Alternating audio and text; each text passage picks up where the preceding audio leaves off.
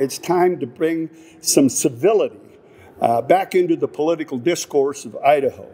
And I'm confident that one of the ways to do that is to pass this initiative. Now, there's nothing more sacred in our system of government than the right to vote. And the right to vote unharassed by anybody. And I know in my 25 elections uh, and all the 36 years that I served in public office, uh, most of that was pretty cordial. In fact, it, it wasn't really until the early 2000, I would say 2007 or 2008, that I saw this nastiness uh, come in. And, you know, the way a person's campaign uh, and the way they campaign is uh, the way they're going to govern. And if they're going to govern by being on the opposite side of whatever issue there is, uh, then they're not going to govern well. And so, what I see today is a lot of people that are running for office, unfortunately, most of them on our side, on the Republican side, that haven't got the skill to convince people to be on their side. So, the only thing they can do is tear them down personally. The only thing they can do is argue with them. And so, I'm proud to be part of this. I. Uh, uh, like I said, a, a, lot of the folks that Jim has on that list uh, you'll see before their name, former. Well, they were former people that served when politics was cordial, when the campaigns were not divisive like they are now. And so I want to bring that all back to Idaho. Idaho deserves better. And Idaho also deserves all the choices that this initiative will give. I will confess that for the last uh, 20 years I have been an independent, but I am really committed, along with my friend Bruce Newcomb, who served as Speaker of the House for many years, to getting civility, common sense, and dignity back into the party that I grew up in, the Republican Party. Uh, this last year, Bruce and I and, and a number of other Republicans, Ben Ysursa worked on Take Back Idaho. We became involved in a number of the uh, primary races.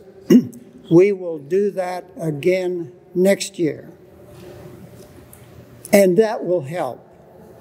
But nothing will get the Republican Party and the state back to the situation where people were reasonable, pragmatic, and civil in public discourse, like the initiative that is going to be on the ballot, and I guarantee you it will be up for a vote in 2024. I would say that there's many people in this building and across this state that have been put into office and supported in office because of the very groups that this party is now choosing to exclude uh, and not have a voice at the table. And that's your, um, the state Republican committee votes that the Republican women no longer have a vote. Those are the women that stuff envelopes, they wear the red jackets, they pound on doors, they canvass neighborhoods. They are the Republican Party. And to me, that is just a travesty of epic proportions. Don't get me started about it. It's a step in the wrong direction. Because as you know, women, you know, we're the largest voting bloc, we're the largest section of the economy. We do the buying, we do the housekeeping, we do the raising. We are the backbone of Idaho. Those red jackets, those Republican red jackets that this Central Party Committee decided was not worthy to have a receipt to seat at the table is because they are Republicans who are moderate. They are Republicans who are sensible. They are Republicans who think about what's best for the next generation, not for the person sitting in power. They understand that the power of this state comes from people who do not seek power, but people who are willing to step into power in order to do greater good for the people of the state, not for themselves. The person that should have the power is the person that wants it the least. And the Republican Party State Central Committee has proven that the only reason that they are in business is to further themselves. and to put themselves in a position of power in this state and this Republican Party. The young Republicans of this state should be paying attention to what's happening at our state level leadership because your voice is being subverted by their voice.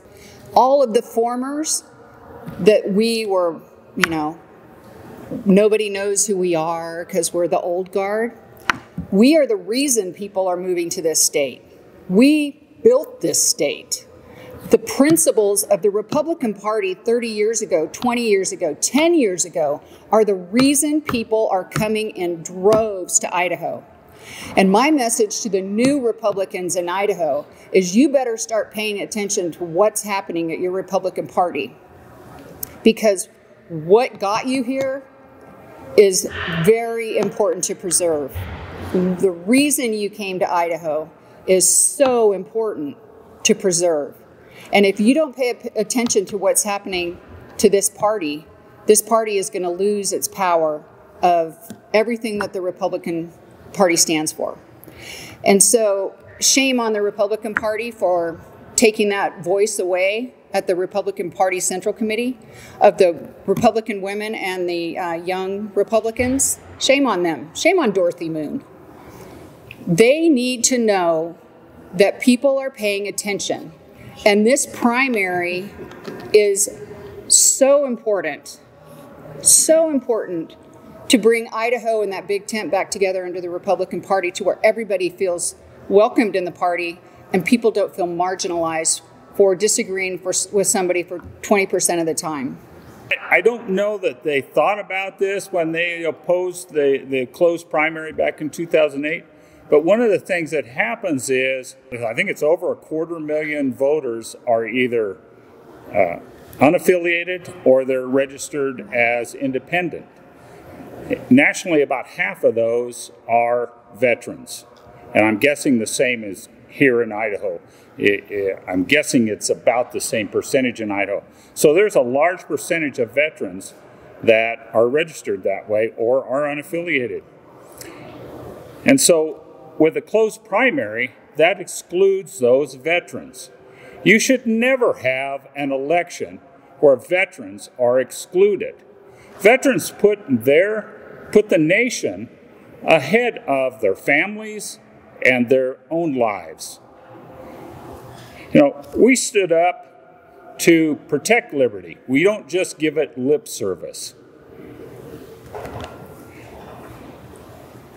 Our lives are put at risk to protect freedom around the world for everybody, not just political parties.